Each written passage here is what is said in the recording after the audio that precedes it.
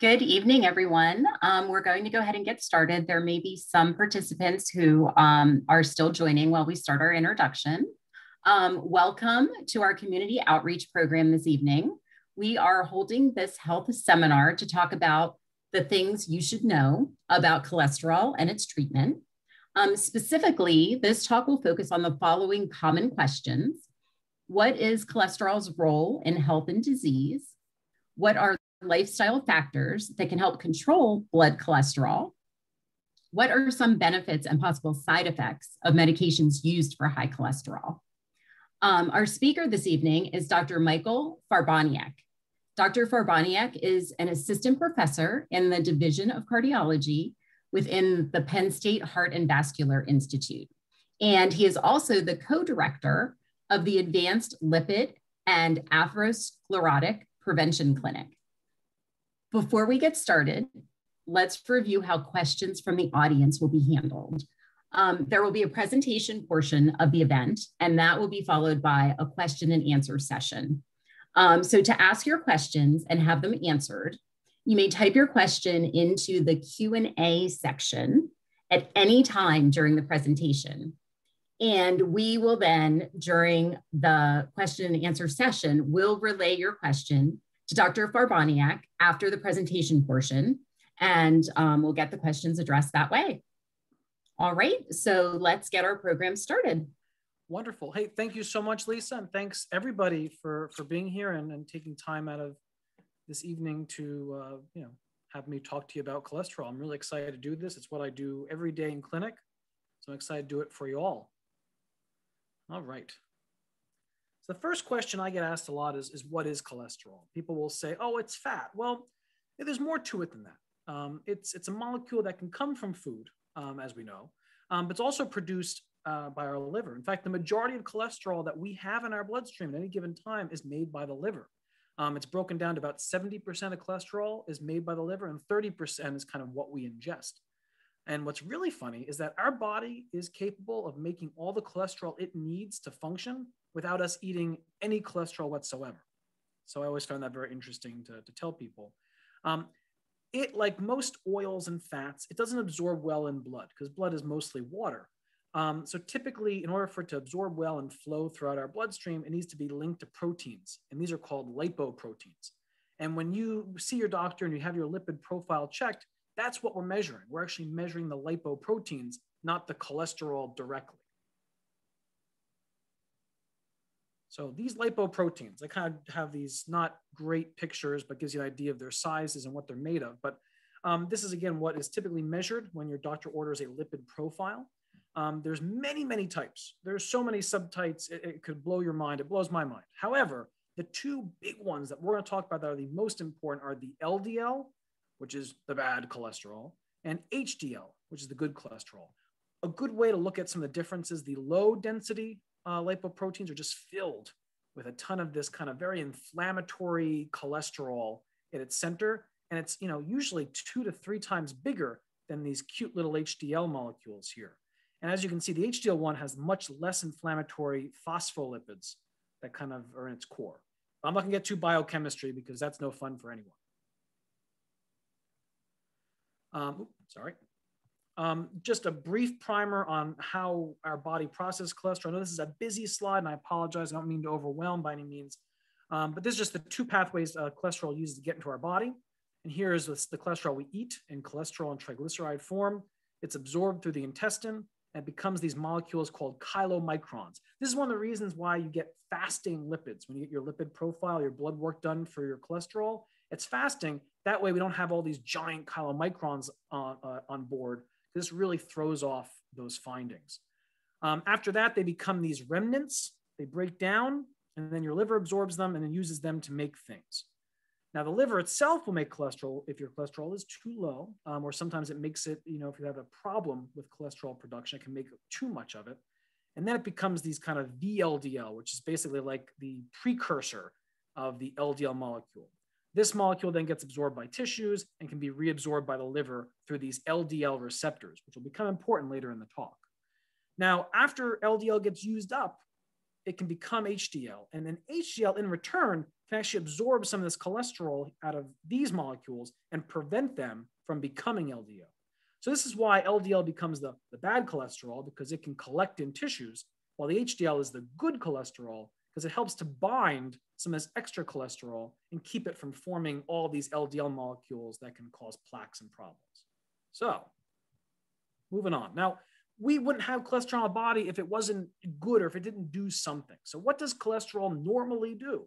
Um, it's a very important part of our everyday body function. In fact, every one of the cells in your body has cholesterol in it. And that go, you know, billions of cells in our body and they all have cholesterol. That's nuts because cholesterol kind of coats all of our cells to protect it from the outside environment. Um, cholesterol is also really important in producing hormones like estrogen and testosterone, which everybody knows. Um, cortisol, which is kind of your, your stress hormone, it, it spikes in the morning to wake you up. And aldosterone, which is a hormone that's very important in, in kind of increasing blood pressure. Now, vitamin D is also made uh, by parts of by parts of cholesterol using and in, the, in a process involving the kidneys. Um, and cholesterol is also used to make bile acids, which are secreted, you know, into our gut by our uh, gallbladder, and that also helps to absorb fats and also other vitamins like vitamin A, E, and K, as well as vitamin D. So it's really important. I'm not saying that you know all cholesterol is bad. However, the cholesterol that does all of these functions that I'm describing is cholesterol that our body can make on its own. It's unnecessary to take in extra cholesterol. So now what to do when there's too much? And this has been the big problem. This is kind of why I have a job. Um, in abundance, um, if it, you can be cholesterol can be increased by either the diet or it can be hereditary. And the majority of my patients beat themselves up because we make all these huge changes in their diet, but they're still somewhat elevated. And part of that comes from genetics and, and hereditary cholesterol production in the liver. Um, a surplus of cholesterol then leads to basically increased LDL particles in the blood that don't have a place to go. Once you saturate all those LDL receptors, the LDL just goes throughout your bloodstream and it becomes pro inflammatory. So basically, all those white blood cells will start to gather in places with too much LDL, and this can lead to inflammation of the vessels in your body. And eventually, this can lead to plaque formation. And that's the foundation for vascular diseases such as heart attacks and strokes. So another busy slide. I'll, i promise I'll get away from the, the physiology and, and, biochemistry soon, but just to give everyone a background. Um, these right here, this what we call RLP, is basically broken down pieces of excess LDL. And what the combination of having too much LDL and too much of these remnant particles causes the vessels to become inflamed, which then causes monocytes, which are types of white blood cells that usually fight infections, but also are involved in inflammation, to cause inflammation on the vessel wall. This inflammation allows the LDL to collect underneath the surface of the vessel. And then what happens is this causes more inflammation by releasing an, an, a, a protein called C reactive protein, which some of you may have heard of. It is something we measure to kind of gauge what your risk of heart disease might be, something called highly sensitive C reactive protein. Now, that then attracts more white blood cells. So more of these white blood cells come in. And what the white blood cells are trying to do now, they're trying to get rid of this excess cholesterol inside the vessel. So they sneak into the vessel and they basically eat as much cholesterol as possible. So it's kind of like a, a Thanksgiving feast for these white blood cells. But unfortunately, they become these foam cells. And now they are too fat to leave the vessel wall. So they collect and they build up and they build up. As long as there's LDL to feed them, they'll keep on building up. And this is basically, this part's called a fatty streak. And by the point we get up here, now we've got a plaque. As you can see in the vessel, now we have a restriction in blood flow. We have about half the vessel available for blood flow. Now, what can happen is stress, smoking, high blood pressure, all these risk factors that we talk about readily can cause these plaques to crack. And these foam cells then actually start to bleed. They start to cause bleeding into the vessel, which causes a thrombus to form. At this stage, now we're talking about heart attacks and strokes. So that's kind of the progression of atherosclerotic disease. Now, how do I know if my cholesterol is too high? You know, there used to be just a regular cutoff. You know, your cholesterol is above 130, your LDL cholesterol is above 130. Okay, well, we should do something about it. You should watch your cholesterol. That was the old school way of doing things. Now, the absolute number that requires treatment. So, this is one where, sure, we should do lifestyle modification. With your LDL is 190 milligrams per deciliter, or more, you should be on treatment of some sort. Okay. um, because that you you will be at the highest risk of, of heart disease with that LDL number. And that also tells us that that doesn't happen on your own. You can't eat yourself readily to uh, LDL that high. So that's why it really requires treatment. Um, patients with diabetes and with heart, known heart disease really should have their cholesterol treated because we've seen when we start those patients on statin medications, let's say, we have seen reduction in events of heart disease and strokes. Um, what I like to do in patients that are kind of borderline, patients that don't have diabetes, don't have heart disease, and have a middle of the road LDL, I use this American College of Cardiology Risk Calculator Plus, which I have the website down there. You can click on that, take pictures of it. Um, this helps kind of develop what your risk of developing a heart attack or a stroke over the next 10 years is. Um, it's usually a pretty small number, thank goodness. And other things affect it besides just the cholesterol, so blood pressure, age, and gender can also play a part. So let me show you an example of a patient of mine, no names, obviously. Oops. Um, so this is a 54 year old gentleman um, whose blood pressure was mildly elevated, 131 over 76. That's pretty good, but the 131 is a little high. His total cholesterol was pretty darn high at 215. HDL was a little bit lower than we want. We want kind of 40 or above, and it was 32. And his LDL cholesterol is high, 180, uh, 180, and he has diabetes. Um, he never smoked, and he doesn't have high blood pressure, even though he's not. He has somewhat high blood pressure, but he's not taking anything for it right now. So 180 is not that absolute number, right? but he has diabetes. So this is a patient we really should treat. Now, when he calculate his risk, if he did not have diabetes, his risk would be 8%. So I probably still would treat his cholesterol. Um, but at 16%, anything above 10% is pretty darn high. So this is someone that definitely needs to be treated and you get to compare it to what the optimal risk would be. What if you were like the most healthy you possibly could be? Your risk at this age and gender is 3.2%. So there's a lot we can do to decrease his risk. I mean, you can decrease his risk by almost uh, by fivefold. All right, so this is my favorite. I, I, you know, medications are very helpful and I really do advocate for them, but lifestyle changes, I think, make some huge, huge differences. So I start with basically the things to avoid in diet. And this is hard because a lot of this stuff is really good. Um, not from a health perspective, but it's yummy. So saturated fats are the majority of dietary cholesterol. And this is the stuff I'm sure you've heard your doctors talk to you about before. So animal fats, so red meats and egg yolks, organ meat in particular, liver is really high in cholesterol. Just avoid it. It's not that great anyway. Um, and full fat dairy foods, or if you replace it with low fat dairy foods, it's a little bit better, but there's still some saturated fat. Um, processed foods, again, it's really hard to defend processed foods because not only are they high in saturated fats, they're also high in salt because that's how it, they stay preserved and, and processed. Um, so lunch meats and, and made for frozen meals are, are tough. Even the really healthy ones, I'm not going to name names or brands or anything, but even the, the, the ones that are listed as a healthy meal still might have high salt, even though they might be lower in saturated fat than other frozen meals. So it's best to avoid that and probably cook fresh if you can. Um, solid fats, I'd probably try to avoid. So basically any fat that is solid at room temperature. Um, so things like lard, obviously, butter, and then coconut and palm oil are very surprising for a lot of people because these are, are they're, they're fun. There's health trends surrounding coconut and palm oil. However, they're really high in saturated fat, even though they're primarily a vegetable oil. Trans fatty acids, I want to talk about for a whole lot much longer because they have just basically been made not illegal, um, but the federal, uh, the, the FDA has now stated that trans fatty acids, particularly partially hydrogenated oils, are no longer considered safe and really shouldn't be used in cooking anymore. Um, this is the primary place you'll find this stuff is fast foods and, and fried foods, like those big oil tanks uh, you'll see if you go to a carnival or something. And the reason why they're so bad for you is because it's basically taking your saturated fat and making it more saturated, uh, basically making it denser so it sticks to our arteries a little bit better. Um, what makes it useful in cooking is that it doesn't break down easy. So you can fry stuff in that oil over and over and over again, but not good for people for consumption any longer. Um, refined sugars. So I find I use the four C's, which are things I enjoy. Um, candy, cookies, cakes, and cans, including soda, alcohol, and sweetened beverages. Um, I was a big iced tea fan for a long time. Um, I tried moving to more of like a fresh brewed tea because there's no added sugar in that. So then you're kind of taking something enjoy and replacing it with something that's a little bit better for you. Um, this can th- these can increase your blood glucose, triglycerides, and LDL. And what's funny is high fructose corn syrup actually reduces reduces our response to leptin. And leptin is a hormone that makes us feel sat- uh, sated, makes us feel like we're full. And by inhibiting that, we can eat this stuff and be more hungry, which is, is why I, I bet you can sit there sometimes be like, yeah, I can eat that cake or I can eat all those cookies because it kind of decreases your ability to be um, full. All right, things to add to your diet. This is a lot more fun to talk about because it's a lot easier sometimes to add things to your diet than to take things away. Um, so replacing saturated fats with unsaturated fats. So again, this can help reduce LDL and triglycerides and also can raise HDL.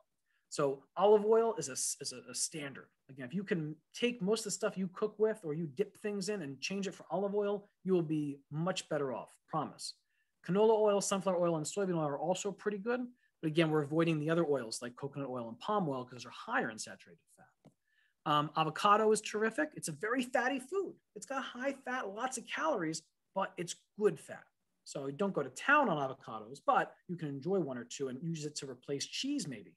Um, it's creamy, has that texture like cheese, and replacing that with uh, replacing cheese with fat may help decrease your LDL and triglycerides. Omega-3 fatty acids, the kind of fatty acids found in salmon, trout, tuna, and in fish oil supplements can also help raise your HDL and decrease your triglycerides. And then nuts and nut butters uh, can also do the same. Plant sterols and stanols is something that the National Lipid Association started talking about recently. They're found in almost all vegetables and vegetable oils. And about two or three grams per day can help decrease your LDL by almost 10%. Um, and that's over the course of about two to six months. Um, soluble fiber, this is something really great you can do. Um, it's really not hard and it's in yummy things, uh, whole grains, vegetables, and in a lot of different nuts. Um, by increasing soluble fiber, you can actually help decrease your LDL as well.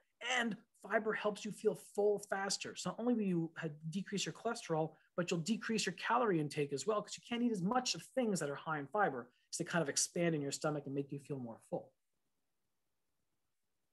So all the things I was talking about with the adding things to your diet kind of describes what we call the Mediterranean diet.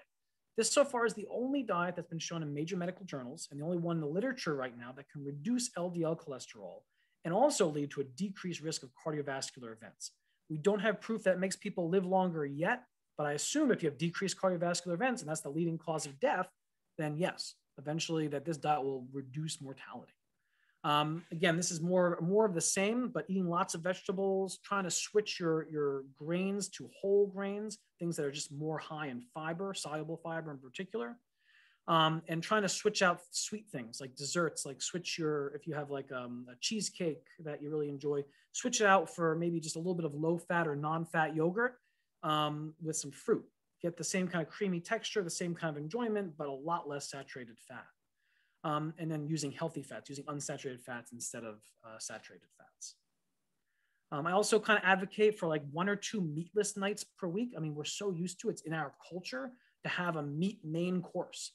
Um, that includes seafood. Seafood is a meat, but having one meal that's just all vegetable and vegetable based protein.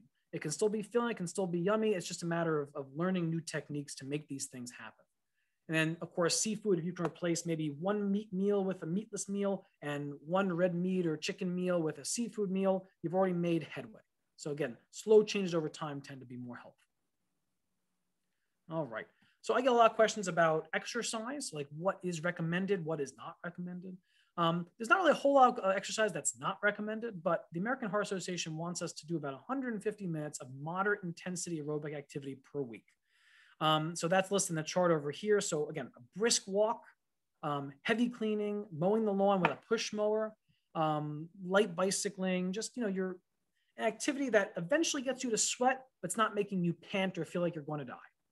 Um, doing that 150 minutes a week will make a huge difference in both your HDL triglycerides and can also decrease your LDL.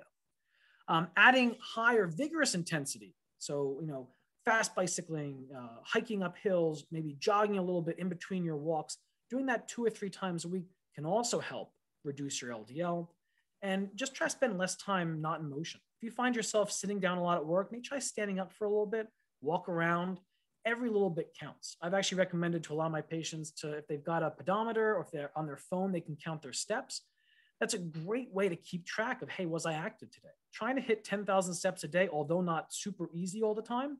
I've definitely had days where I fall behind that goal um, is a great way to kind of meet that benchmark and know like, hey, I'm moving.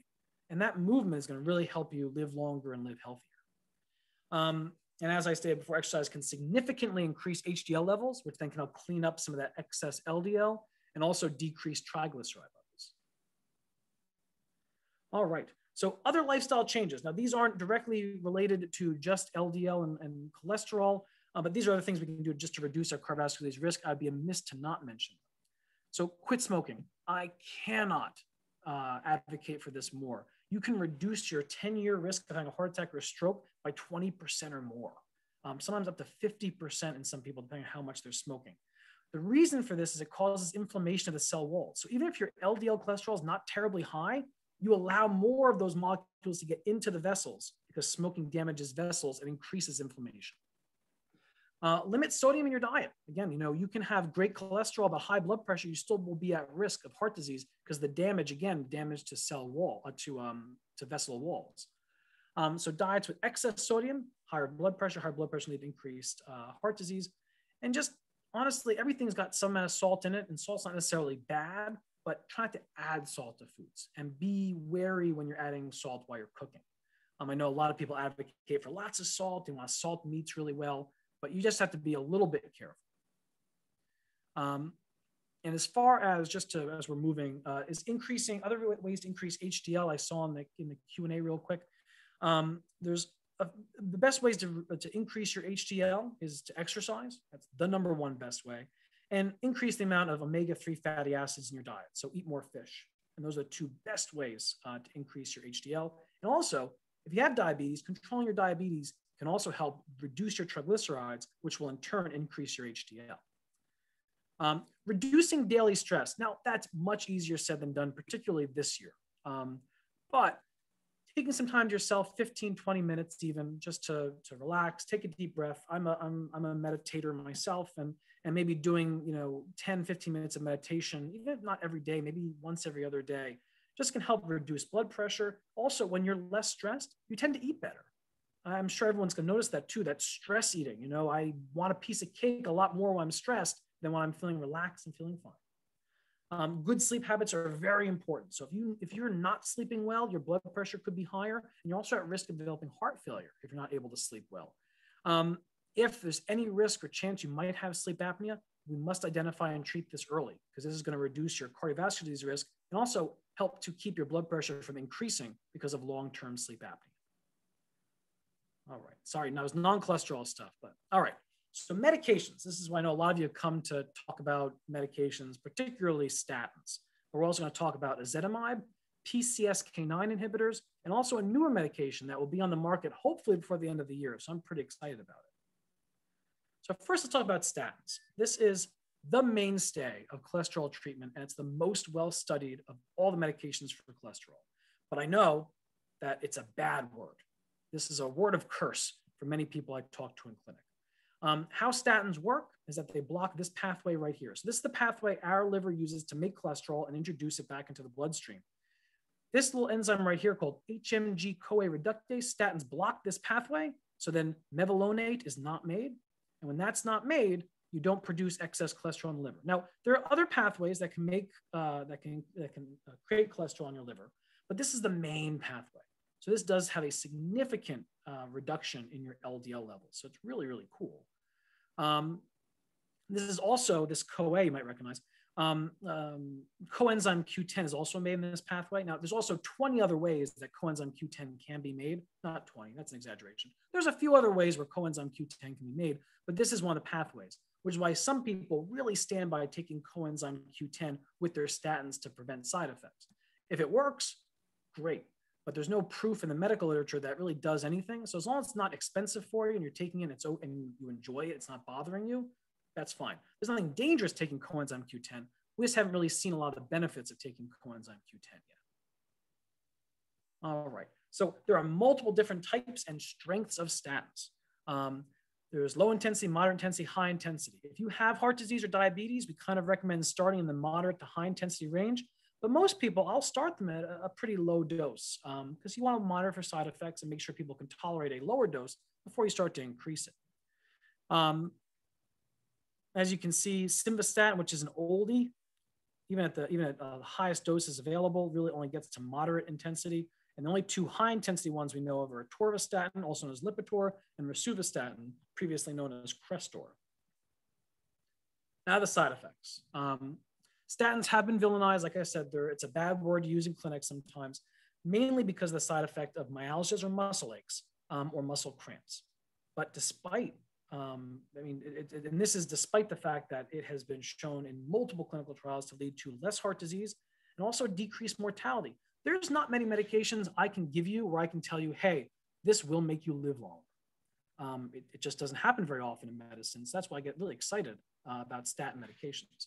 Um, so myalgia is also known as muscle cramps and sometimes inflammation in the muscles. This is due to mevalonate, that one uh, part of the pathway that isn't being made.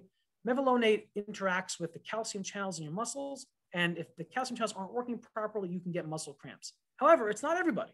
In the clinical trials that we did compared to placebo, only about 1% to 5% of people had these complaints.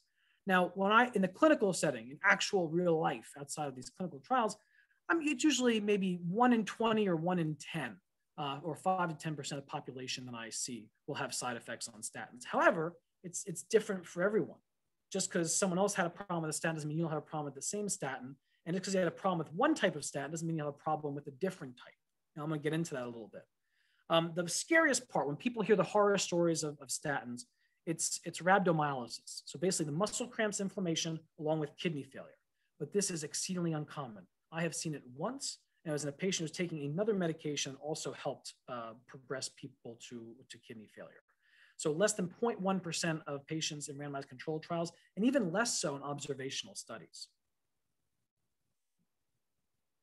Um, it should not be used in pregnant women. I have I have many women in my clinic who are of childbearing age, and when they get when they're trying to get pregnant, we take them off statins. I don't care how high your cholesterol is. You know, if you're trying to get pregnant, you should not be on a statin because it can really affect uh, uh, babies as they're being formed, particularly in the first trimester. Now, we all heard a lot about new onset diabetes. This was a big thing in the media um, and also in our medical journals for a while. It occurred in 0.1% of patients with moderate dose statins and 0.3% high dose statins. But when they reviewed this, when they reviewed this in 2012 after it was put out in 2010, they found that it was entirely population dependent. The patients that developed diabetes are patients that were going to develop diabetes anyway. They're all the people that had the same risk factors to start with. They had elevated glucose, they had obesity, and they had high blood pressure. They were already at risk. So when they looked back at it and did a meta-analysis, they found out, gosh, statin or no statin, the same patients still developed diabetes. So this is something that's more or less become debunked, even though it's still considered a black box warning by the FDA. Now here's some things you might have heard of. Um, I take a statin, I'm going to have memory or cognition defects, or it can cause Alzheimer's or Parkinson's disease.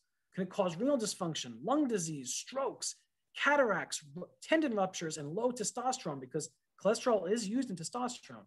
However, this is all unfounded. Multiple meta-analyses, in fact, one that was just done a couple weeks ago, found out over 129 studies using over 100,000 people, there was no evidence of memory cognition defects related to statin therapy. It's related to age and statins are having people live longer. And then as we live longer, the older we get, the more likely we are to develop dementia or cognitive decline. Um, as far as low testosterone is concerned, our liver can make enough cholesterol even with statins on board that we're still making enough testosterone. And they studied patients with LDL cholesterols of 25 or less, really, really low LDL cholesterol, and still they didn't find any issues as far as testosterone production in those people. And here's a big one. And this is something I talk to people about in clinic a lot because not all statins are the same. Just because they do a similar mechanism doesn't mean they're metabolized the same way. And the way they're metabolized is a big reason why some of them cause symptoms. So the lipophilic statins, so simvastatin being the first statin was very lipophilic. Lovastatin is somewhat lipophilic and atorvastatin is fairly lipophilic. They tend to work better because by saying they're lipophilic means that they absorb well in fat, which is you know, where our cholesterol is going to gather. Um, however, they're all metabolized in the liver as well, and they all can cause issues um, with, with myalgias. Now, if someone comes to me and they have a problem with, let's say, atorvastatin or Lipitor, I'll say, gosh, that's a lipophilic statin. How about we try a hydrophilic statin? Hydrophilic statins can absorb better in water. We tend to secrete them a lot easier, and they tend to have 10 to 20 times less the rate of side effects like myalgias and muscle cramps that the lipophilic statins might. Um, also, I found it very effective in medications like rosuvastatin or Crestor. It's a different pathway in the liver. It's C, uh, CYP2C9, like fluvastatin is, and it's longer acting. So I've actually switched some people to five milligrams of rosuvastatin, maybe one to three times per week. It was easy to tolerate, and we still had a reduction. There was a study done back in 2008, you doing just this with one time a week and three time a week rosuvastatin. It was tolerated by more 30% more patients than daily dosing, and there's still an LDL reduction of almost 40%. So I think that's still a big win. It's not, again, not your goal of 50% or more, but that's still a great reduction. And you can take it not having the side effects by just changing the dosing structure. So there are some people that no matter what I do, uh, the statins just aren't working for them. That's okay because there's a lot of other options out there. Um, ezetimibe is the oldest option. Uh, it was made famous in 2015 with the Improve It trial when it was used with simvastatin and was shown to work better with simvastatin than simvastatin alone. Um, it inhibits oh, well, it inhibits a protein that basically absorbs uh, cholesterol into the bloodstream. So it blocks this channel right here where the cholesterol will come through and go into the vessel. Um, it's not a statin. It's not all related to statin, and it's not metabolized at all like statins. You will not get muscle cramps on ezetimibe. If you do, it's not related to the ezetimibe. It's something else. Um, it can be used alone. Typically, it works better over the age of 75 when used alone um, compared, and it can also be used with statins. If you're on a maximum dose statin and your, your cholesterol is still not at goal, we can add ezetimibe, and that can that more than likely will get you to the goal. Now, some of the side effects. So we I reviewed a lot of studies uh, over the past 10 to 15 years, and the majority of the adverse effects of ezetimibe are very rare and very mild. Uh, the most common is GI upset and some diarrhea. Um, mostly it's indigestion. Um, and people complain about this usually for about two weeks. And I kind of tell them like, hey, I know it's a bother, you know, take some Pepto, take some Tums, it's giving you some acid reflux. After about two weeks, I check back in with them and most people say, oh, no, no, I'm feeling okay, it went away. Um, and that's because your body's getting used to not absorbing as much cholesterol.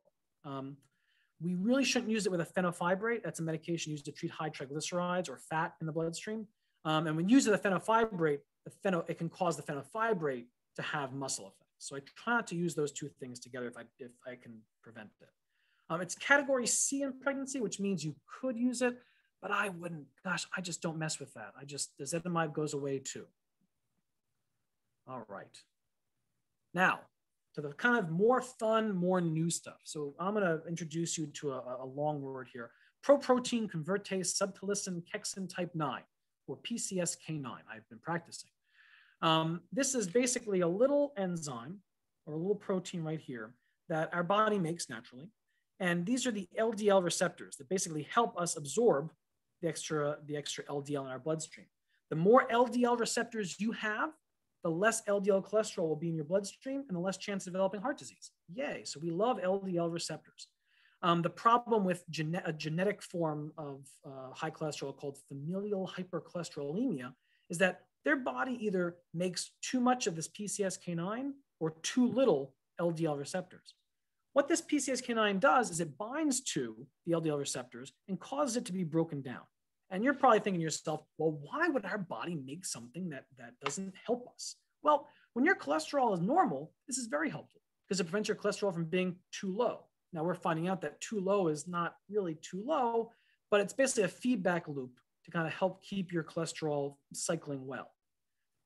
But what we're finding out is that we just we have excess LDL. It's not just our genotype, but also you know with our eating, eating habits and that we're not, you, we're basically saturating these LDL receptors. And once that happens, the rest of the LDL kind of swims out in the bloodstream and can lead to plaque formation. Now, how these things work. So PCSK9 inhibitors, they're IgG antibodies. They're actually antibodies that we produce. Um, they bind to PCSK9. They bind one-to-one with these proteins and prevent them from working. By doing so, we prevent the breakdown of these LDL receptors, and now there's a ton of them. So now we can collect more LDL from the bloodstream, and you can have a reduction of 50% or more. I've had some people start these medications and they went from an LDL of 182, even on statin medications, down to an LDL of 30 or 40, well below the goal of less than 70 in patients with heart disease. Um, there's two drugs approved so far. There's evolocumab or Repatha and alirocumab or Praluent. And they're injectable medications, which I know it's a turnoff, but you know what? there's no problems with muscle aches or pains. So some people that can't tolerate statins will then move on to these drugs if they're high enough risk. And then, you know, it tends to work out better for them. But they are injectable. So you have to inject them either once every two weeks or once every four weeks.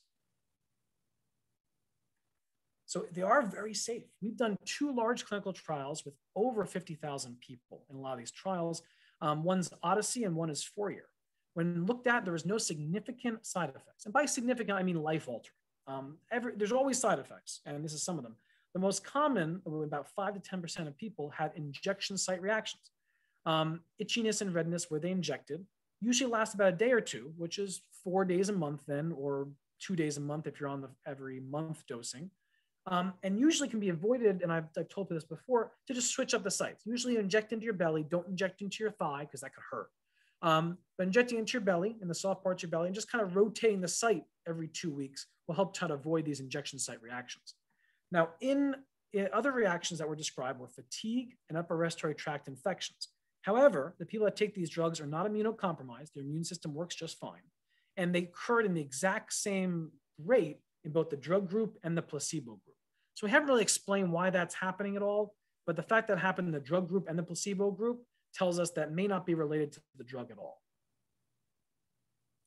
So a new medication on the horizon, get excited. It's not yet FDA approved, but likely should be available by the end of the year. It should have been available now, but this is one thing that COVID helped to, to push back a bit because you know we've got a lot bigger things to, to, to deal with than cholesterol, but let's get back to cholesterol now. Um, so it's not approved yet, should be approved by December is my hope. Keep our fingers crossed. Um, what it is, it's basically this small interfering RNA. So not too dissimilar to some of the same technology used to create the COVID vaccine. This interfering RNA, what it does, it tends, it blocks the place where the PCSK9 genes get transcribed to become the PCSK9 protein. By preventing that, PCSK9 can't be made. And in doing that, it prevents the synthesis of this protein and increases the amount of LDL receptors. That's that the, the simplified version. It, it's it's mega complex, but no one wants to hear about biochemistry right now. It's it'll take too long. Nobody wants that. Um, it's one injection every six months. That's insane. If someone told you you can control your cholesterol and, and perhaps increase your your lifespan with one injection every six months, man, I, I would I would sign up. Um, but it must be given under physician supervision um, under, uh, uh, in, a, in, a, in, an office. Um, there's been no significant adverse effects so far. The Orion 1, 2, and 3 trials are all completed. They ended in March of last year. Um, and there was no significant adverse events, except, of course, um, injection site reactions, where people will get itchy and sometimes redness for up to two days after injection. Um, fatigue, and muscle aches in arms and headache occurred equally in both the placebo group and drug group. In fact, the muscle cramps happened more in the placebo group than the drug group. So we have not found a connection between the drug and the side effect at that time. So that is, I think, all that I have. Um, just to let you guys know, I'll leave this slide up for a little bit. Um, if you have questions um, about your cholesterol or about the management of your cholesterol, or just to discuss your cardiovascular disease risk, um, you can contact our access center at the number provided. Um, you can ask to be referred to the lipid clinic. The lipid clinic is the one that I, I co-direct with Dr. Eric Chan and uh, Dr. Greg Caputo. Um, and you'll end up seeing one of us. And if it's just to maybe see a cardiologist for a number of different reasons, then that number is also a good way to get you in contact with our wonderful cardiologists. Um, so that's all I have. Thank you again for, for having me come talk to you and for listening so intently. Um, and I guess I'll open it up to, to questions now. Okay, we the first question we have. Um, thank you, uh, doctor, uh, for this valuable presentation. I've been taking 20 milligrams of Astra atorvastatin for years. Mm -hmm. What dangers might I be incurring without knowing it? So that's a good question. At 20 milligrams of atorvastatin, you're not likely to have any dangers except for the danger of, of living longer and having lower cholesterol. Um, the things that people were worried about, and people talk about this a lot about the increased chance of diabetes and cognitive issues, those have all been seen to be unfounded. Um, so, as far as unknown dangers, the only thing I would do is when you check your cholesterol profile with your primary care physician or whoever's checking your cholesterol right now, every year, every two years, check a liver function test as well, just to make sure that your liver function tests are normal.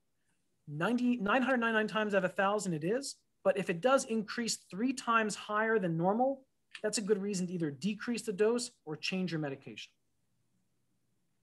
Okay, we have a couple questions that kind of um, circle around um, red yeast rice. Uh, does red yeast rice help at all, or is it more of a myth? Um, and as far as a natural supplement supplement to decrease overall cholesterol as, as such as red yeast rice? That's a really good question. So it's funny because red yeast rice is a statin. Um, it's what statins end up being derived from is actually some, excuse me, uh, red yeast um, and other other other yeasts and other plants to make statins. The only problem with red yeast rice is you do not know what your dose is. Um, so sometimes let's compare it to simvastatin because that's simvastatin comes almost entirely from, from red yeast rice. Um, if you you know you take one pill of red yeast rice uh, one day, it could be five milligrams of atorvastatin. You take some the next day, it could be hundred milligrams of, of, of, sorry of simvastatin. Um, and the problem with that is if you don't know what dosing you're, you're getting at any given time because red yeast rice is not dosed that way, um, you can still have some of the same side effects with statins. Um, if you're taking red yeast rice, you're more you're, you're probably better off uh, taking a statin anyway, since then at least we can control the dosage and prevent prevent some of the side effects. You can get like liver damage with too much red yeast rice. So far, there's not been a lot of supplements uh, that have been helpful in decreasing cholesterol, though we are continually looking. Obviously, there's some some information that even Earl Grey tea, uh, because the bergamot oil in Earl Grey tea can help decrease LDL, but although we've seen a decrease LDL, it's not a significant decrease, maybe one to 2%. Uh, probably you can have the same effect by eating more fish. Another question. Um, my LDL went through the roof when on statins, Lipitor, and then cholesterol. My LDL went up, but my HDL is 150. People tell me that they have never heard of this of this high and HDL level overall is 354. When I was on statins, I also had nightmares. Is this common? Now on Repatha. Oh, good. Um, and they um, plan on getting a blood test in May to see how it's working. Gotcha. None, none of what is just described is common at all. So nightmares are very uncommon. Uh, in fact, I've never actually seen nightmares um, with statins so far.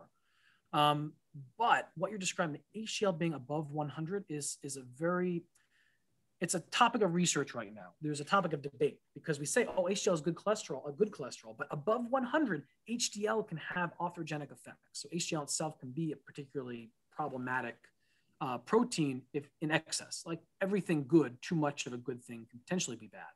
Um, so I try I, after after 100, I get a little worried about heart disease risk. Um, and I think Repatha is, a, is an awesome choice because it sounds like you might have a genetic abnormality of cholesterol production in order to get an, H, an HDL that high, as well as an LDL that does not respond to statins. Um, so I definitely seek out genetic testing.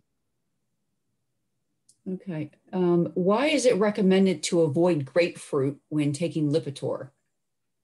I, I get mad at this. Um, so when you take grapefruit, it can basically, grapefruit interacts with the enzyme that metabolizes Lipitor and a lot of the other statins, except for rosuvastatin and pravastatin. Um, and by inhibiting it, you can decrease the effectiveness of um, the atorvastatin. In some cases, it actually increases the effectiveness. So we don't know exactly if we're getting the right dose in yet. Um, but it doesn't mean don't eat grapefruit. It means just don't drink a giant glass of grapefruit juice and eat a half a grapefruit with your meds. So let's say if you take your, your uh, atorvastatin at nighttime, um, which is why I tend to recommend people take it, then when the morning comes, you can have a half a grapefruit, a glass of grapefruit juice. Now, I wouldn't go crazy and just drink grapefruit juice all day, but you have to really drink grapefruit in excess for it to really affect the statin metabolism. Can Repatha cause lymphedema? I have stage one breast cancer, age is 62, it's under control on four BP meds. Um, so Repatha does not cause lymphopenia in the major studies that have been done so far. Let's see. My cardiac calcium score was 147. How bad is this? It's a good question. Um, it's not bad, not good. Um, that is, it kind of puts you in like a, a, a moderate risk category if it's above 100. Um, pretty much, if it's if it's zero, if you have a coronary calcium score that's zero, you're you're good. Basically, the chance of you having a heart attack or a stroke in the next 10 years is, is close to zero percent. Um, but a- after zero, the it kind of increases exponentially. So 100 is not the worst. So 200, I get kind of worried. 400, I get really worried.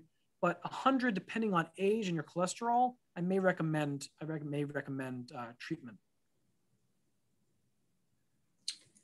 Okay. Question: How low is too low for cholesterol? I love that question. I'm sorry for not putting it in my talk. So we we always talk about what is too low. Um, too low 20 years ago was 50. Then we found out when we got lower than 50, people did great. They did better than expected. So then we moved it. We moved it to 40. The FOURIER trials and the, the Odyssey trials using these PCSK9 inhibitors, now we found out that we can go really low. In this trial, we had patients that had LDLs below 10, and those patients did okay. The only thing that was increased in patients with LDL cholesterol less than 10 was cataracts. Now, I, I don't know the mechanism of that. We've talked at National Lipid Association meetings at length about this, um, and we don't know why that happens. But that just seemed to be the only thing in only one of the two major trials that happened. But there was no cognitive effects. People were very worried about Alzheimer's and dementia related to this because cholesterol is used as far as a process is in creating your neurons, your brain cells but that was unfounded. So there really isn't such thing as too low cholesterol because your body can continually produce it. And by the time we put people on cholesterol medications, there's enough cholesterol stored in your body to probably last the rest of your life. Have any studies been conducted on the effects of intermittent fasting and the process of autophagy and lowering LDL? I love these questions are terrific. Thank you. Um, not yet but we want to do them. I am so interested in intermittent fasting, especially in the autophagy part, because I think we, we've already seen with intermittent fasting decreased glucose, decreased diabetes, and decreased inflammation. And since a majority of the reason why we develop plaques is the inflammation component, I really do think even if the LDL doesn't improve with intermittent fasting, which I think it would, I think uh, you'd at least decrease your heart disease risk because you're going to decrease your glucose, and that's going to be important. And you're decreasing inflammation, which is also incredibly important uh, and decreasing the risk of heart disease. So I'm all for intermittent fasting. I, am a, I'm a practitioner myself, um, and I found it great not only for weight loss, but I do think it's going to help reduce uh, heart disease, even though we don't know for sure in clinical trials. It's hard to do dietary clinical trials because you have to like watch people really carefully and really trust that they're doing what you tell them to do.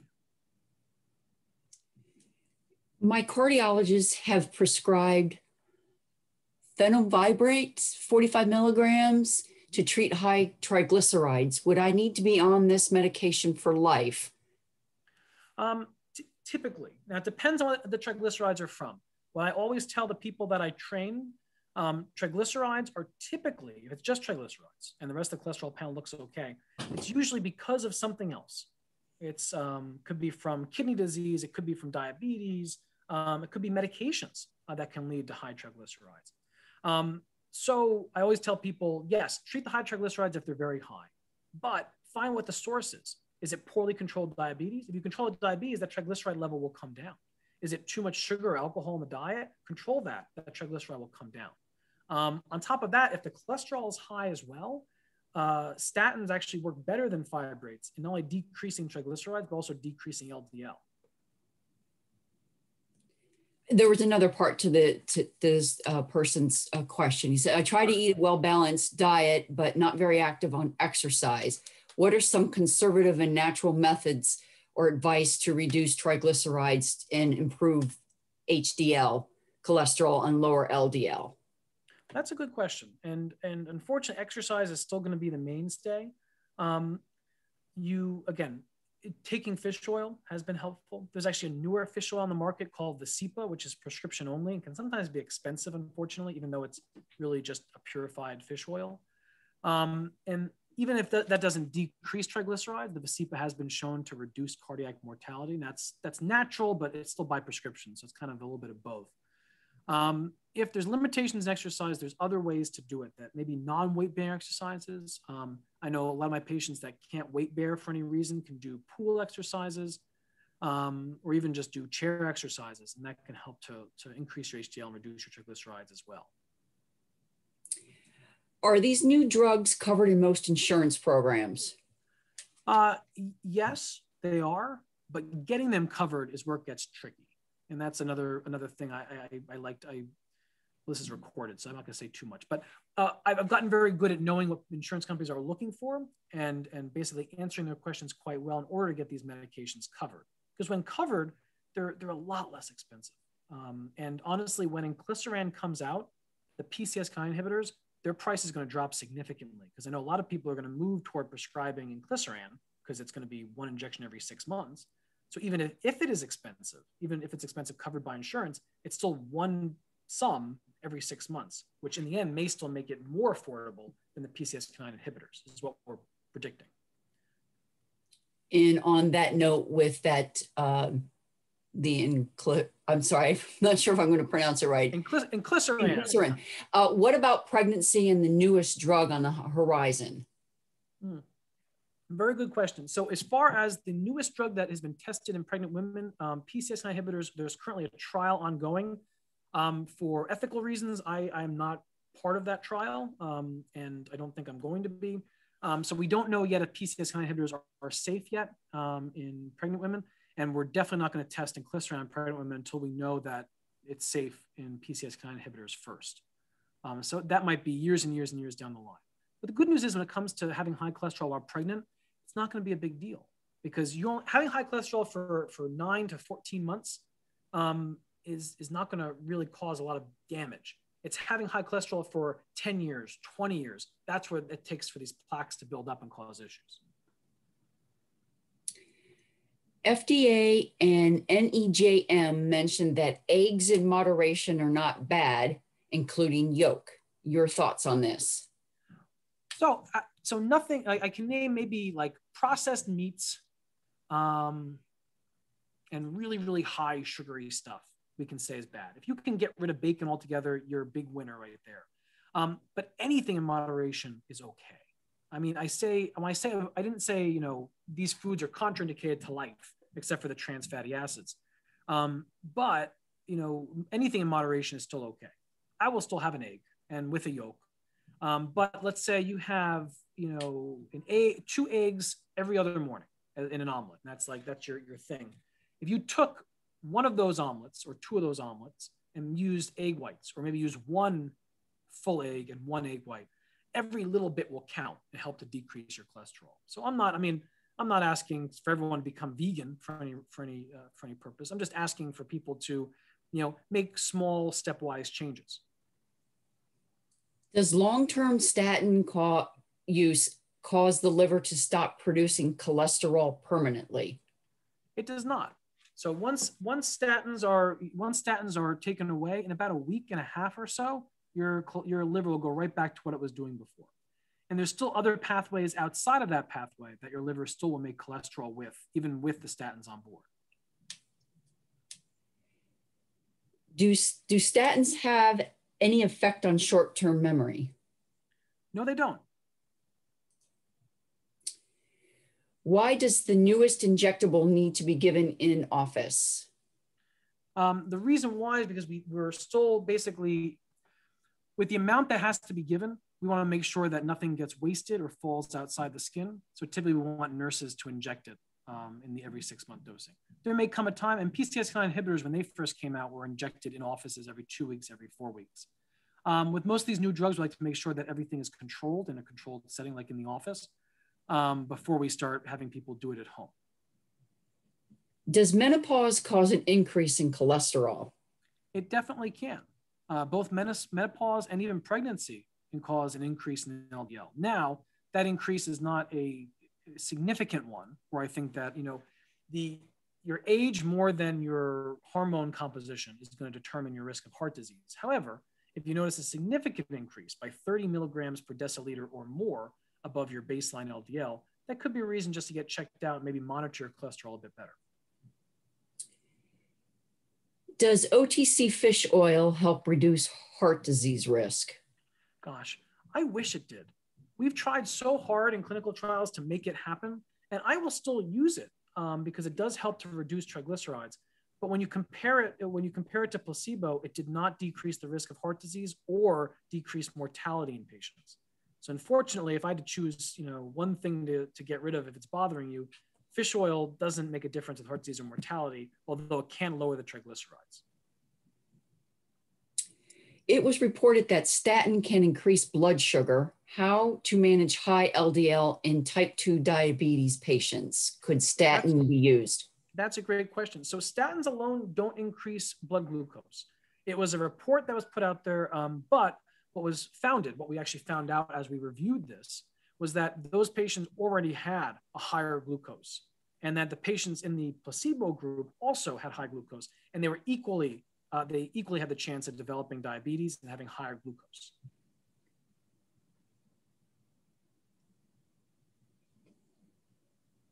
What is a VAP test and who or when should you get one? A VAP test.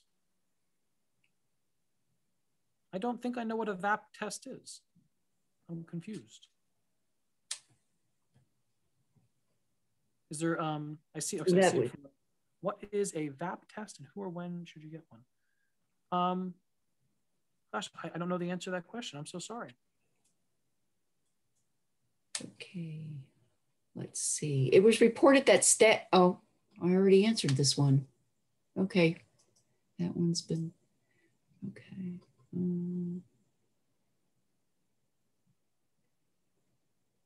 it sounds like very high LDL greater than 250, especially with a good diet, is almost always genetic. Is this correct?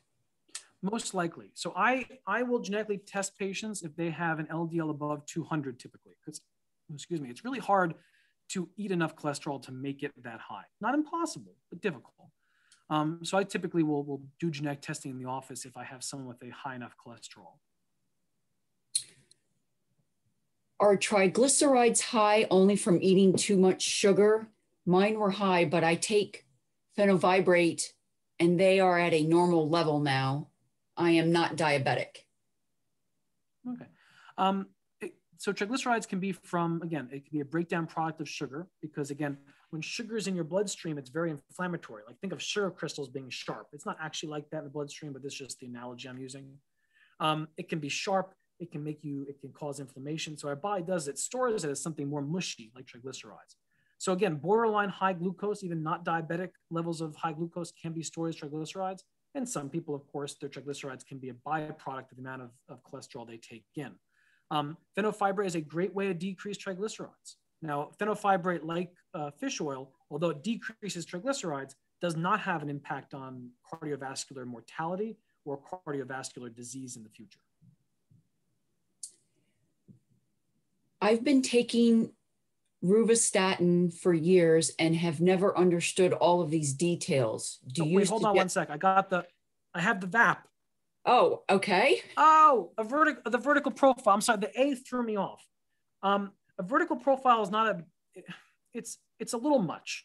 I'll be honest. It's basically a, a it's all, all the cholesterol we talked about before. It, it measures the VLDL, it measures the, the B proteins, the A proteins, um, it's very, it's, it's kind of complex and has a lot of different meanings. However, we haven't found that measuring any of these little particles makes a huge difference in, in treating heart disease. Now, with that regard, I will sometimes check two things B100, protein, para, uh, protein B100, because that's on all of the molecules, uh, all the lipoproteins that cause atherosclerosis have B100. I'll check that sometimes separately.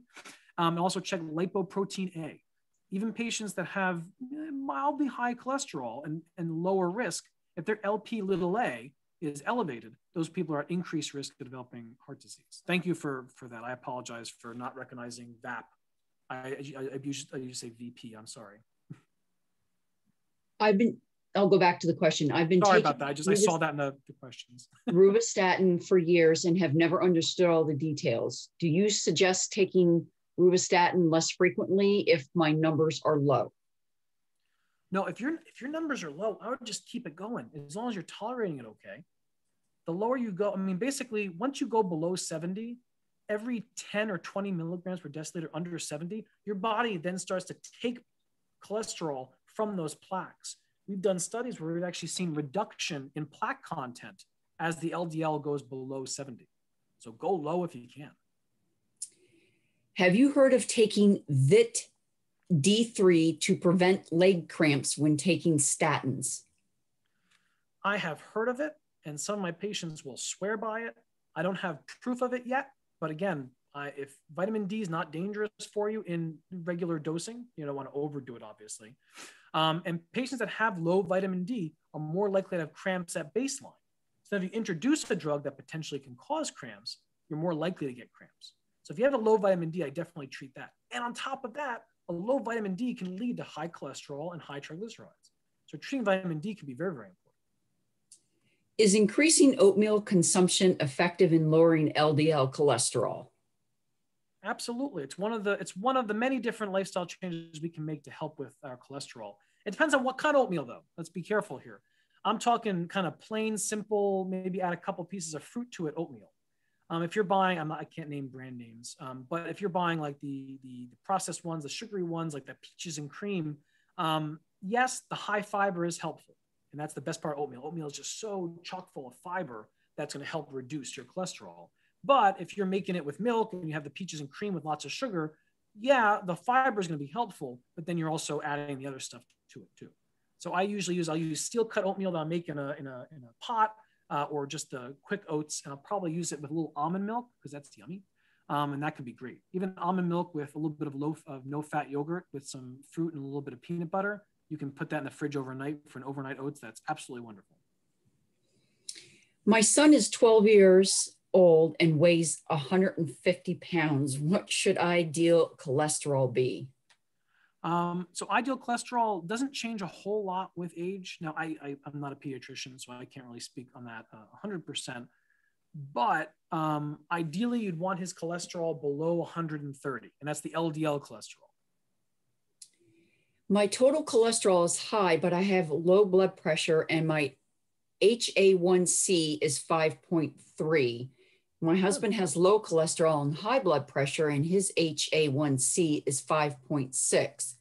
Why do I have high cholesterol and my husband with high blood pressure does not have high cholesterol? That's that's a good question. Um, so cholesterol is not necessarily related to blood pressure.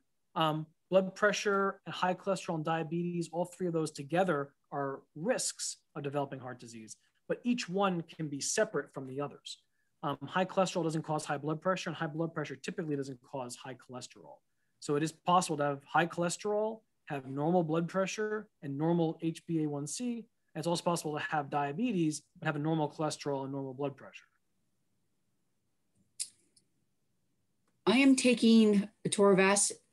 I'm sorry, I couldn't pronounce it. Atorvastatin. Can I also take coenzyme Q? Yes, you can. Um, some people, again, I have patients that swear by it. They say they take coenzyme Q10, it makes them feel so much better. Um, but there's no, I, I, just from a doctor's standpoint, there's no clinical evidence. There's no large trials that show that coenzyme, coenzyme Q10 is any better than placebo at either preventing heart disease or preventing the side effects from statins. But it's not terribly expensive. And if, if you like it, it makes you feel okay. It's not dangerous either. So have any studies been conducted on Oh, I think I already asked this question. Effects on intermittent fasting in the process. Yes, I already did. Yep. Sorry about that. I like that one.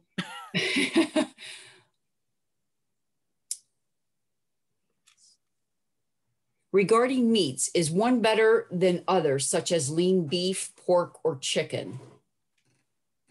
Um, gosh, it, your your your lean chicken is going to be your best option there because it's going to be the lowest in saturated fat.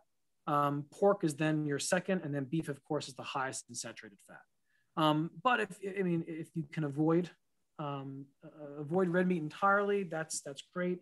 If not, I understand. Trust me, you know, I'm, I'm a human being, I'm not a monster. Um, you can just try to limit your portions. You know, we are used to, to big old burgers, but even if you just you're eating these this foods that are high in saturated fat, but you decrease the amount of saturated fat by just decreasing the portions, you can still make a big difference. Can krill oil or omega 3 capsules increase HDL? Um, yes, yes, they can.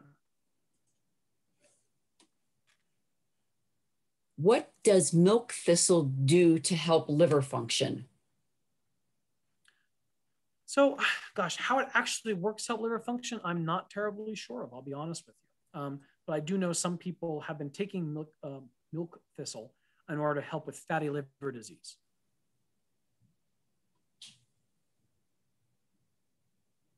Let's see. What is the role of nitric oxide in heart disease? Uh, nitric oxide is terrific. So nitric oxide is something that's naturally formed in our bodies, in our blood vessels, um, to help keep our blood vessels open and reduce inflammation in those blood vessels. But the big thing that does nitric oxide is keep the blood vessels open and keep the blood flow going smooth. Um, now, there are things we can do to increase nitric oxide. So, we know exercise can naturally increase nitric oxide. Um, and there's also some medications out there that increase that nitric oxide, like nitrates, for instance, like nitroglycerin that you take for heart disease or for chest pain, um, or long-acting nitroglycerin, like things like isosorbide mononitrate or isosorbide dinitrate. My HDL is very high off the chart, which increases my total cholesterol to 235. Should I still be treated for high cholesterol? So that's a really good question. So this is still under a lot of debate. There was a Swedish study done about maybe six years ago, and patients with HDLs above 100 were at higher risk of heart disease than patients without that. So you'd be the type patient that we probably try to run genetic test on, and maybe would actually benefit from either a, possibly a small dose statin. Can you please discuss the connection between statins, muscle cramps, and calcium? You mentioned it before. Oh, Just a little slower, please. Sure. Yes. Here, if you don't, uh, I'm going to go back in my slides a bit. There we go. So here is, you know, how statins are working here. This right here, mevalonate, is blocked. The production of this is blocked by HMG CoA reductase by statins um, by blocking this. Um, now it has other pathways it can be made, but this is the main pathway it uses. And this actually is actually used in our muscles to enable calcium to escape our muscles.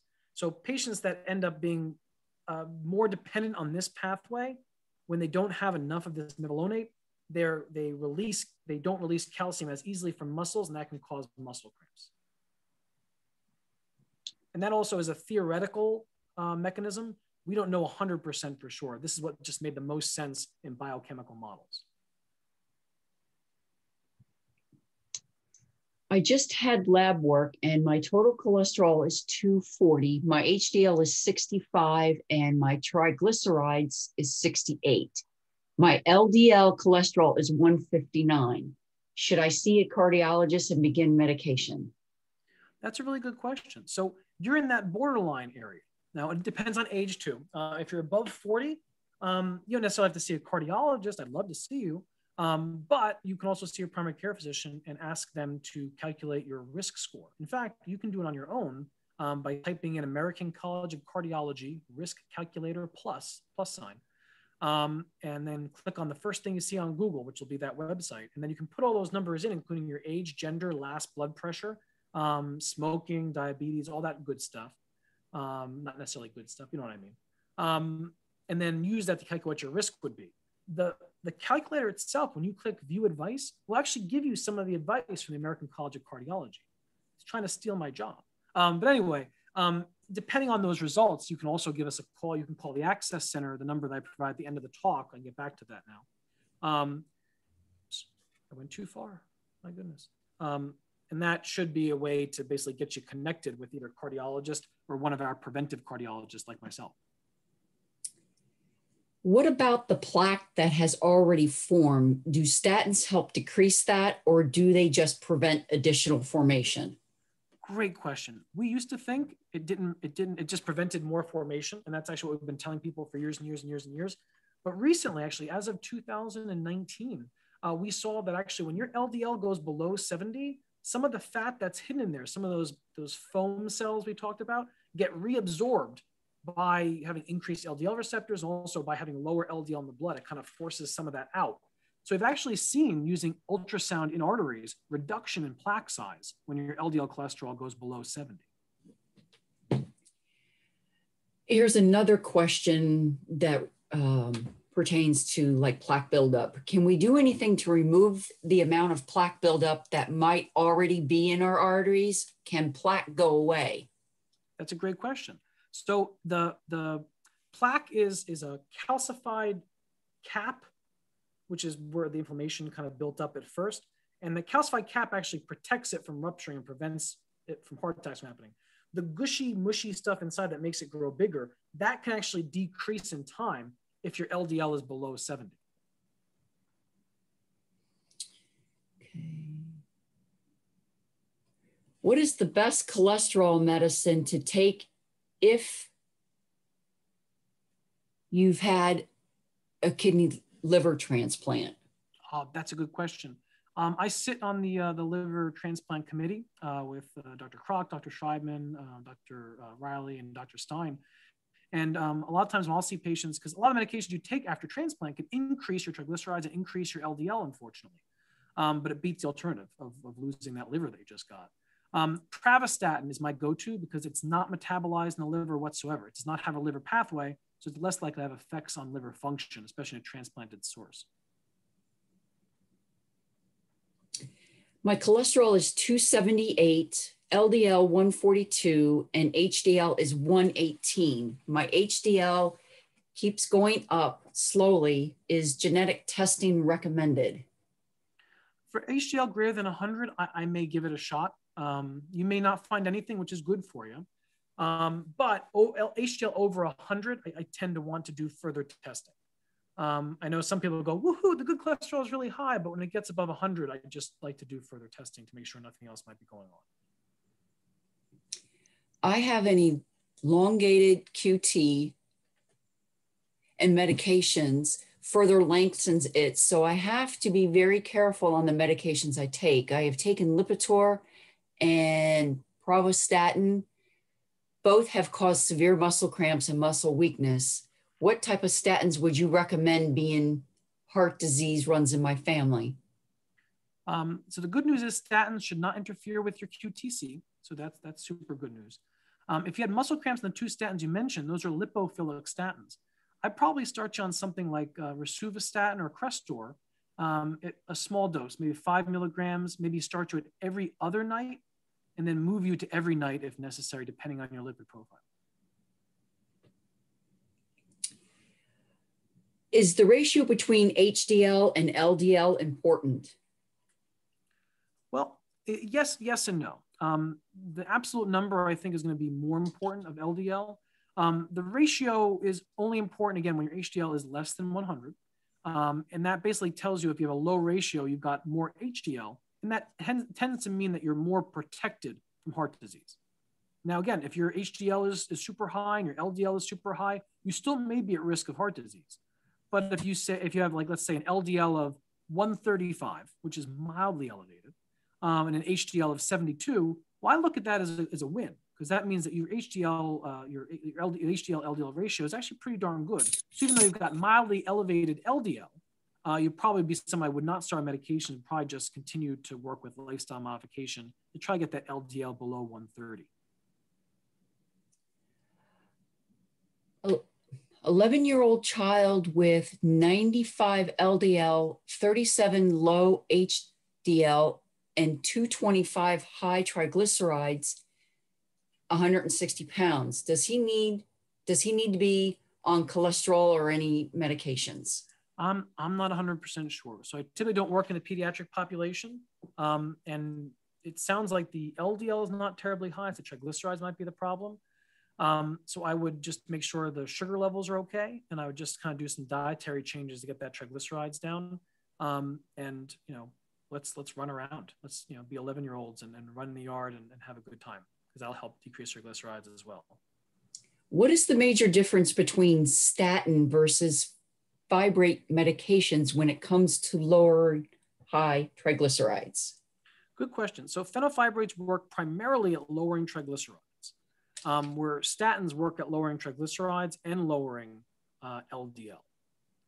They both work in different mechanisms, but both work in the liver. What about apple cider vinegar? It has been reported that it dilates the blood vessels and helps lower blood pressure, among other things. Your comments. I've heard a lot about now. I, have yet to see it in large clinical trials. Um, I've, I've heard it colloquially. I've seen it um, in social media. I've seen it on the news, but I've yet to see it in a big clinical trial yet. So I probably would wait. Um, I mean, again, there's no dangers other than indigestion um, if for, for, taking apple cider vinegar. So if, if you like taking it, you know, it doesn't bother you at all. It's not going to hurt you as far as we know. However, before I start recommending to patients as, as a, as a cure-all or something that will help, um, I'd like to see it in, in clinical trials or in formal studies first. I've been taking 40 milligrams of simvastatin for 16 years, even though my cholesterol was okay after I had a stent put in. Is there danger in long term use, or is a primary care doctor qualified to manage my care here? Yeah. So again, I know many primary care physicians that will will uh, take care of patients that have had stents before, and they're comfortable with that. Um, if I let's say I see a patient in the hospital who has stent placed, I'll usually follow up with them on an annual basis and just keep up keep up that work. There's no problem with taking 40 milligrams of simvastatin. Usually, we recommend a more higher potency statin for patients with known heart disease, but it all depends on the cholesterol level. Um, I have some people who are on a small dose of simvastatin, but their LDL is below 70 and that's the goal. So if you maintain that goal, that's going to help reduce the chance of having a heart attack in the future, and that's great. I have seen statements of an addictive interaction between pravastatin sodium 20 milligrams and metoprolol. Yes, um, SUCCER 25 milligram. Are you aware of any dangers with taking both medications such as not being able to stop them without se- severe effects? So pravastatin, no. Um, metoprolol succinate, it's not an addictive interaction, but they're basically metoprolol. It's a whole different um, uh, sort of thing. Um, it's it, it's basically it reduces it, it increases the amount of beta receptors in your body because you're blocking those beta receptors to lower your blood pressure. So if you withdraw that medication all of a sudden, then now you have too many beta receptors more than usual, and you're going to have this rebound hypertension or high blood pressure and rebound tachycardia or high heart rate. Um, that's just a, a, a, format of withdrawing the medication. So typically, when I take someone off of a beta blocker or like metoprolol, I do it in a stepwise fashion. My doctor told me that I have a fatty liver. What should be my concerns? Um, so that's a good question. Um, my biggest concern about having fatty liver is the progression to cirrhosis. Um, the best way to prevent that is by preventing the, the cause of fatty liver, which happen, which is primarily related um, to higher cholesterol. Um, so if you have fatty liver, we have seen some reduction and reversal of that fatty liver disease. If your cholesterol is high and you start treatment with statins, it can help reduce that. Both of my parents had heart disease at 70 ought I be tested to see how my arteries are doing in terms of plaque? What was the age again? I'm sorry. Um, at 70. At 70. I'm guessing so, this person's 70. Ought I be tested to see my how my arteries are doing in terms of plaque?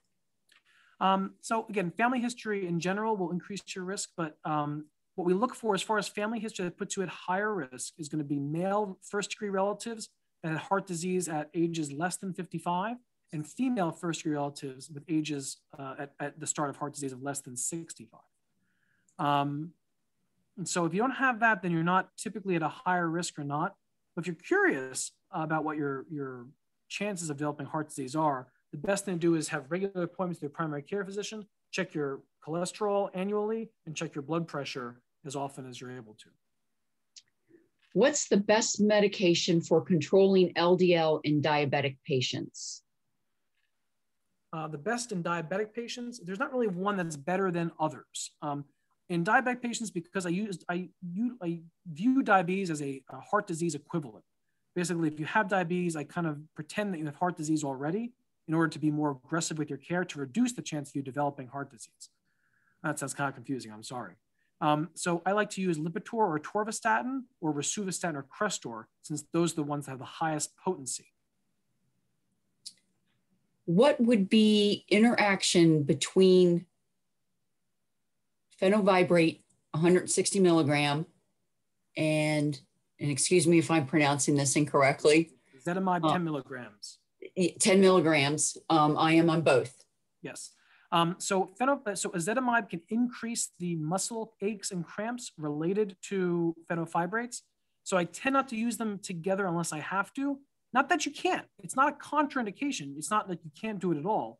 But if you start developing muscle cramps or aches on both those medications, it's usually because they work together to increase that side effect.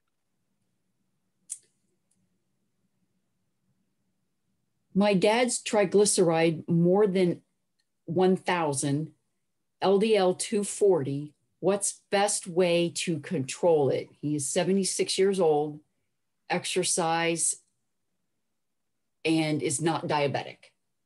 I'd be very worried that your, your father has a, a form of familial hypercholesterolemia, a genetic form of high cholesterol, um, and also may relate to some of the beta proteins, which leads to higher triglycerides as well. Um, the best way to control it is going to be medications from, unfortunately. I don't think there's a way to do it just with lifestyle alone.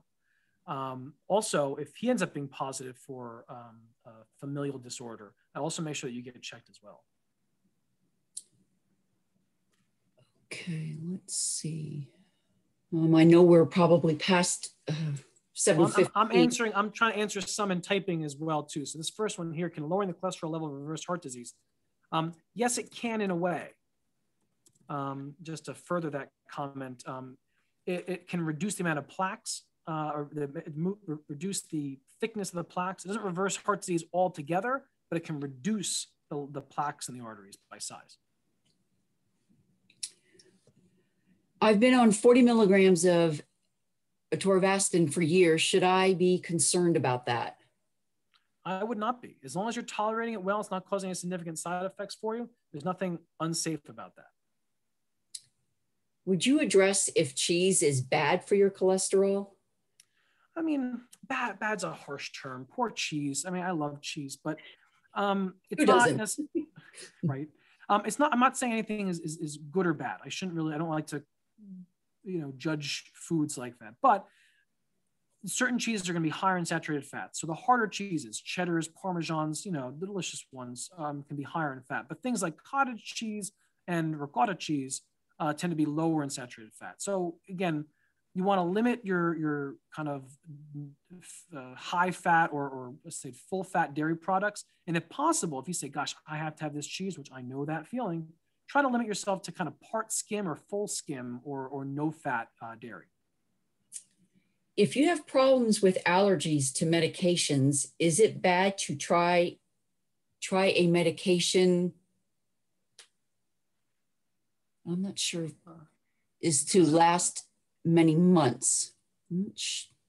If you have medic, if you have problems with allergies to medication, is it bad to try medication that is to that may last many months? Um, so not necessarily. Um, just because you have allergies to some medicines don't mean you have some allergies to others.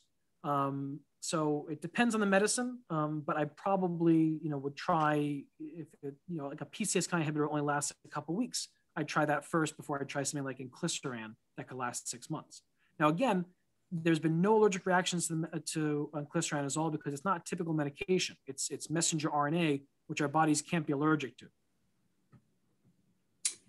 I have taken statins, Zetia, and Welchol and have not been able to take any of them. Would you say to wait for the, the new medication?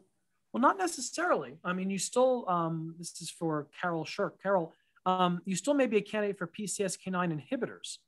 Um, and so it's something to do talk to your doctor about, and potentially, if, if it can be approved by your insurance, you can you can be put on that. If you'd like to wait for the new one, you can do that. But my guess is some people may not be approved for that medicine until they've tried the medicines before them, like the PCSK9 inhibitors. I have significantly changed my lifestyle in terms of diet and exercise, and my cholesterol levels have reduced a bit, but not as much as I'd hope. Can I ever expect to get off statins? Oh my gosh, um, me too. I have I have done I have done a world of the evidence I've shown you, and again, a lot of lifestyle changes I've personally made have not impacted my um, my cholesterol as much as I wanted to because again a lot of it is because the production of cholesterol in the liver that is hereditary we can't prevent that um, so at this time I don't think I think you'll, I would continue on a statin because they're safe, effective, and can basically increase your lifespan. Um, so I would keep on taking them, and instead of, of being mad that you're on medication, be happy you're on one of the few medications that can make your life longer. Can tamoxifen lower HDL? Potentially. Um, I've seen tamoxifen lower HDL. I've seen tamoxifen increase LDL because tamoxifen is an estrogen um, uh, like substance or uh, drug. Um, but the benefits well outweigh the risks because patients on tamoxifen have a much decreased risk of developing a repeat breast cancer. So that's a ton better for you than having a slight increase in your LDL and a slight reduction in your HDL. Is Roosevelt, I'm sorry, where'd that question go? Um, can Repatha cause weight gain? Uh, no, not that I've seen. Now, sometime, to be honest with you, I've had two people gain weight on Repatha, and part of that was because their cholesterol was so good, they got really excited and went to town on saturated fats. Are the weight gain effects of statins like warfarin overrated or population dependent? Um, so warfarin is an anticoagulant, not a statin. Um, but the weight gain effects of statins have, have not been seen. They were the same in the statin group plus the placebo group. My LDL is 155 and my PCP didn't seem concerned. Is that high? So anything above 130 is considered elevated cholesterol, but it also depends on your risk. I mean, I've had a 27 year old with an LDL of 155. At 27, it's not a terrible risk. It's just a chance to do lifestyle modification. Um, what I would do is maybe put your, put your numbers in that American College of Cardiology risk calculator, determine your risk. And if your risk is above 7.5%, that would be that would lead to a discussion with your primary care physician say, hey, listen, I, I did my risk score I'm at an elevated risk. I need you to do something or at least refer me to the Penn State Lipid Clinic. Is rosuvastatin the best choice to be on if you're borderline diabetic? I, I, I have a personal love relationship with rosuvastatin, has the least amount of side effects and tends to work pretty well. So I tend to choose rosuvastatin in all my patients um, uh, as, as, as, my, as my therapy of, of choice for the most part. Um, but it's not any better or worse than the other statins with borderline diabetes. They all will be effective at decreasing cholesterol and decreasing your risk of developing heart disease in the setting of borderline diabetes. Is ezetimibe ezetimibe the same thing as Zocor? Was on something like that many years ago, but cholesterol has never increased above 218 since going off of it. And doctor expresses no concern. Um, so ezetimibe and Zocor difference. So Zocor is a simvastatin, so that's a statin, and ezetimibe is a completely different mechanism. It blocks cholesterol uptake in the gut. Um, so, um, but, but, if your LDL cholesterol is 218, I am very concerned. Um, if your total cholesterol is above 218, it depends on what the breakdown is. It depends on what the LDL and the HDL are. Okay, we have two questions left in the queue. Um, right. Does I can I can do these real quick then? I've got I love eggs. I love the, the kids are at the door. I'm so sorry, everybody. They're they're kind of I hear some knocks and it's going to be bedtime pretty soon. I apologize, but I love eggs. Me too. So how many a week is safe? Well, there's not really a direct number. And it's different for everyone. I know some people, they can eat two eggs every morning, no problem. Um, and their cholesterol is still good. You know, there's a genetic component to this that we need to work with. So it depends on what your cholesterol is now. If you enjoy an egg a morning, I mean, okay, that's fine. Maybe if you love eggs, use eggs and then decrease the amount of red meat or other saturated fats in your diet. You know, skip dessert, but have an egg in the morning it's all about this balance. So I don't want to tell people not to eat anything, um, but try and do so in moderation. Or maybe if you enjoy, you know, an egg every day, do one full egg. The next day, do an egg yolk, full egg, egg yolk, vice versa. And last question: Does Fenofibrate contri- contribute to weight gain? It does not. Uh, krill oil versus fish oil, about the same thing. Um, I, I, I, don't think um, uh, fish oil or krill oil, one is not really better than the other. And then total cholesterol is 218. HDL cholesterol is 65. Ooh, that's good. Um, any concern over the 218? The total cholesterol, not really. So again, if that's the case, you know, it all depends on what your LDL cholesterol is. With a cholesterol of 65, that's with an HDL cholesterol of 65, that's pretty darn good. But again, the absolute numbers become less important than the absolute risk. So I would definitely advocate for you guys to go to that website, um, the American College of Cardiology Risk Calculator, um, and type your numbers in and get an idea of what your risk score is.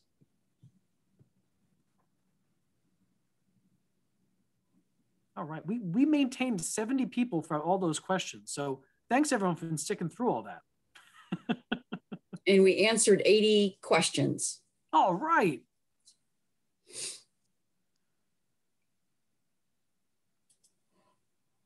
You're welcome, Marie.